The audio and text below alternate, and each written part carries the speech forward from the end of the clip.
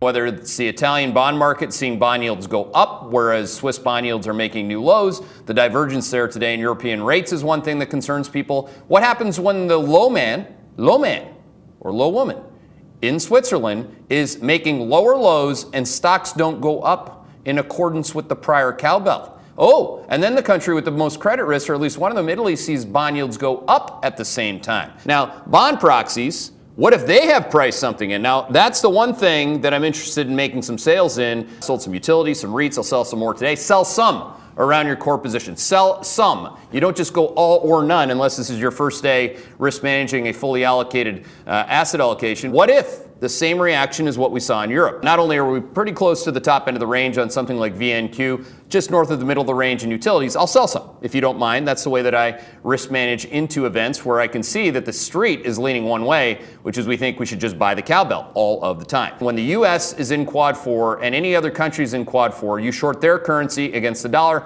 because the dollar goes up in quad four, whereas the British pound goes down in quad four. If you are short of them, uh, you're beyond the low end of the range, which is an even better spot to book gains, and that's what we do at the low end of the range. You book some gains on the short side.